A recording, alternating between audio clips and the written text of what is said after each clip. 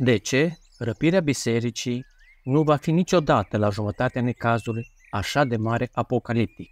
La această întrebare, răspunsul este numai unul singur. Nu este scris niciunde în Sfânta Scriptură acest lucru. În ce constă teoria greșită a mit-tribulaționiștilor? Cei care susțin că numai după trei ani și jumătate de necaz apocaliptic va fi răpită Biserica Domnului Isus. Sunt două puncte de vedere ale acestor teologi. 1. Mare majoritate a mitribulaționiștilor susțin că răpirea Bisericii lui Hristos are loc în Apocalipsa, capitolul 11 cu versetul 12, la sunetul sau anunțul din cartea Apocalipsei. Pe ce se bazează argumentele lor greșite? În primul rând, pe găselnița atribuirii celor doi proroci, Moise și Ilie. Ei susțin că sunt simbolul bisericii răpite despre care se scris în 1 Tesaloniceni, capitolul 4, cu versetele 16 și 17. Citim, căci însuși Domnul, cu un strigăt, cu glasul unui arhanghel și cu trâmbița lui Dumnezeu, se va coborâ din cer și întâi vor învia cei morți în Hristos.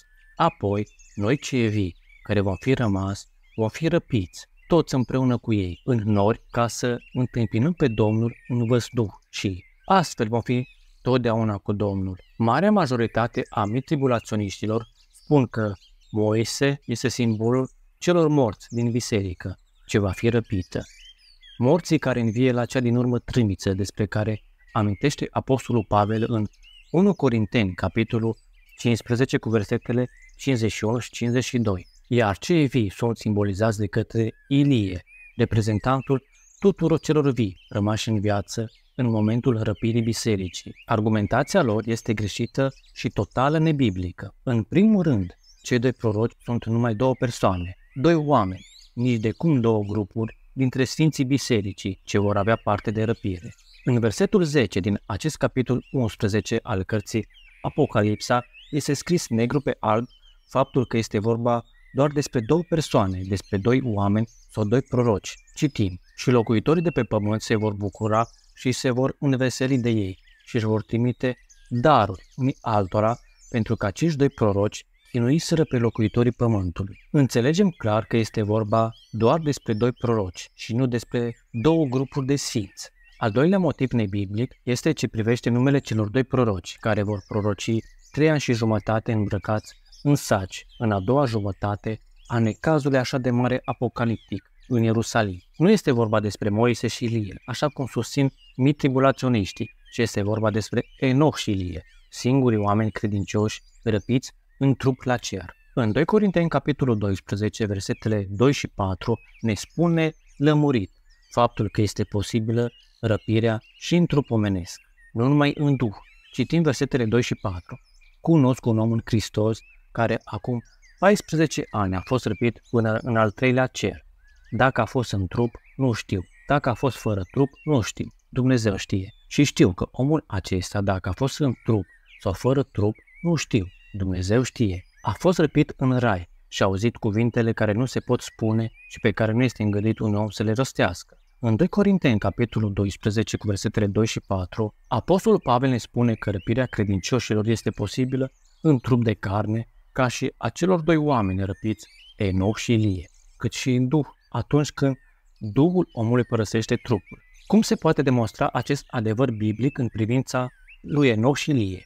În 1 Corinteni, capitolul 15, cu versetul 23, este scris că cel din tâi om înviat în trup de slavă este Domnul Isus, pentru că în Coloseni, capitolul 1, cu versetul 18, este scris El este capul trupului al bisericii, El este începutul, cel din tâi născut dintre cei morți, pentru ca în toate lucrurile să aibă întâietatea. Și acești doi proroci, Enoch și Ilie, singurii oameni care au trăit pe acest pământ fără să vadă moartea, trebuie ca și ei să moară, să învie în trup de slavă, cu care vor moșteni veșnicia, căci cărnii și sângelui nu se poate permite acest lucru conform celor scrise în 1 Corinteni, capitolul 15, cu versetul 50. Ce spun eu, fraților, este că nu poate carnea și sângele să moștenească în împărăția lui Dumnezeu și că putrezirea nu poate moșteni neputrezirea. În al treilea rând, dacă Moise nu se califică pentru titulatura uneia dintre acești doi proroci, înseamnă că teoria mitribulaționistă este greșită. De ce nu poate fi nominalizat Moise? Pentru că unul dintre aceste două nume, a celor doi proroci din Apocalipsa 11, de ce nu poate fi nominalizat Moise pentru unul dintre aceste două nume, a celor doi proroci din Apocalipsa capitolul 11? Motivul este că Moise a murit, odată și conform învățăturii biblice sănătoase a Sfintei Scripturi, creștinii nu susțin reîncarnarea, ca la budiști. Conform celor scrise în Evrei, capitolul 9 cu 27, verset în care se scris că orice om poate trăi numai o singură dată în viață și poate muri doar o singură dată. În al patrulea rând, Apostolul Pavel, în 1 Corinteni, capitolul 15, versetele 51 și 52, vorbește despre ultima trâmbiță care anunță răpirea bisericii la cer. Este desigur vorba despre ultima sau a șaptea trâmbiță profetică, nici de cum despre penultima trâmbiță apocaliptică. În alte ordine de idei, teoria greșită a mitribulaționiștilor susține că în Apocalipsa capitolul 11 cu versetul 12 la anunțul Suiți-vă aici este vorba despre răpirea bisericii. Această susținere nebiblică este o mare greșeală, cu sută coață neagră peste veșmântul alb. Acest anunț, suiți-vă aici, are loc la penultima trâmbiță apocaliptică, deci a șasea și nici de cum la ultima trâmbiță despre care ne vorbește Apostolul Pavel în 1 Corinteni, capitolul 15 cu versetele 51 și 52. În Apocalipsa, capitolul 11 cu versetul 15, abia după ce îngerul al șaptelea a sunat din trâmbiță și aici în cartea Apocalipsa nu spune nimic în acest verset despre răpirea bisericii și despre cu totul altceva, despre alt eveniment care nu înseamnă nici de cum răpirea bisericii. A cincea piesă de rezistență în susținerea mitribulaționiștilor este interpretarea greșită a versetelor 16 și 17 din Apocalipsa, capitolul 6. Versete în care se spune că a venit ziua cea mare a mâniei lui Dumnezeu și a mielului. Mitribulaționiștii susțin că numai după aceste două versete care se împlinesc, după ruperea cele de-a șase peceți, începe cu adevărat necazul apocaliptic. Necaz care după calculul lor ține numai trei ani și jumătate.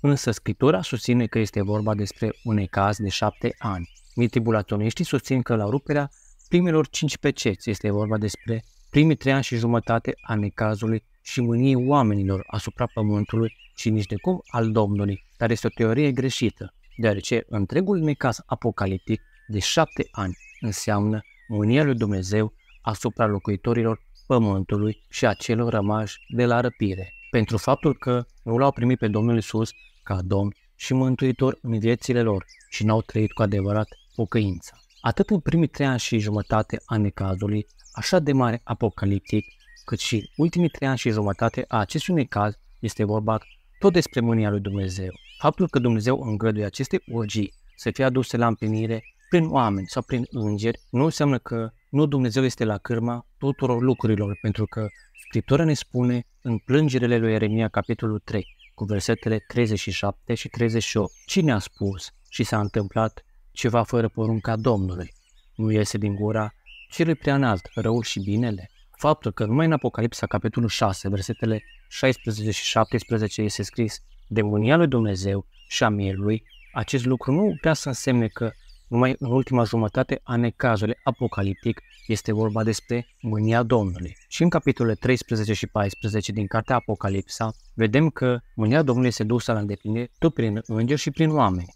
Armatele fiare sunt oameni, nu duhuri. Necazul așa de mare apocaliptic începe odată cu ruperea acelei de întâi peceți, Apocalipsa, capitolul 6, versetul 1 și 2. Atunci când Anticrist sau prima fiară călare pe un cal alb care este simbolul biruinței cu arc și săgeți, începe lucrarea de amăgire și biruință, prin teroare și minciună asupra locuitorilor pământului. Și cele cinci peceți, rupte până la ruperea cele de-a șasea peceți, fac parte tot din planul de mânie al lui Dumnezeu asupra locuitorilor pământului. Biserica fiind cu cetățenie cerească, nu va trece nici măcar o secundă prin acest necaz apocaliptic de șapte ani nici nu va gusta măcar o clipă din evenimentele apocaliptice începute din Apocalipsa capitolul 6, versetele 1 și 2 și până în Apocalipsa capitolul 19 cu 21. În Daniel, capitolul 9 cu 27 se scrie despre domnia lui Anticrist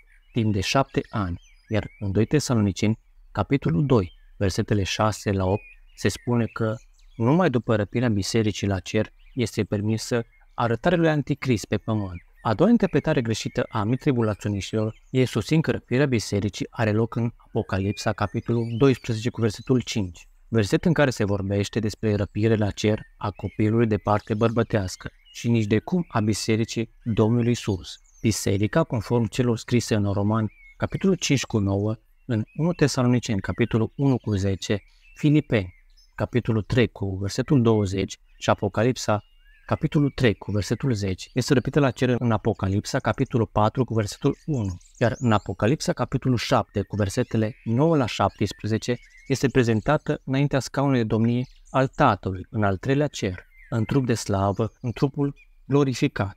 Iar în Apocalipsa, capitolul 19, cu versetul 7 și 8, începe nunta mielului. Și abia în aceste două versete ni se vorbește că Miriasa sau Logodnica a devenit nevasta mielului. Nunta poate începe. Ce mai este greșit în această teorie mitribulaționistă? Unii susțin că aici, în capitolul 12 din Apocalipsa, este vorba despre femeia care este mireasa și copilul de parte bărbătească fi născut tot de nevastă sau femeie sau mireasă înseamnă că este tot mireasa. Greșeala constă în faptul că femeia din Apocalipsa, capitolul 12, nu este mireasa Domnului, ci este reprezentat sau simbolizat ca Israelul pământesc. Mireasa este simbolizată întotdeauna prin fecioară, conform Cântarea Cântărilor, capitolul 7, versetul 1, Matei, capitolul 25, cu versetele 1 la 13 și 2 Corinteni, capitolul 11, cu versetul 2. Femeia sau Israelul pământesc este nevasta lui Dumnezeu și nu mireasa mielului. Adevăr scris în Isaia, capitolul 54, cu versetele 1 la 6 și Osea, capitolul 2, versetele 2 și 16. Deci femeia este Israelul pământesc, nici de cum mireasa sau biserica Domnului. Și dacă femeia este poporul Israel, rămas după răpirea bisericii, în necazul așa de mare apocaliptic, nici copilul de parte bărbătească nu poate fi mireasa care a fost răpită în Apocalipsa, capitolul 4, cu versetul 1 și este tot un segment numeros de 144.000 a celor 12 seminții ale lui Israel. Teoria mitribulaționistă cade și susținerea lor este că biserica naște duhovnicește fi, așa cum este scris în Galaten, capitolul 4 cu versetul 19. Cade. Nu este deloc valabilă cu privire la copilul de parte bărbătească din Apocalipsa, capitolul 12, cu versetul 5. În materialul Cine este copilul de parte bărbătească din Apocalipsa, capitolul 12, este arătat în mod biblic și clar identitatea copilului de parte bărbătească răpit la cer, după trei ani și jumătate de la începerea necazului așa de mare apocaliptic. Domnul să ne lumineze pe unul fiecare, Domnul să ne dea un duh de cunoștință și de descoperire a cuvântului său, care este ascuns de cei înțelepți și pricepuți, dar descoperit pruncilor săi. Amin.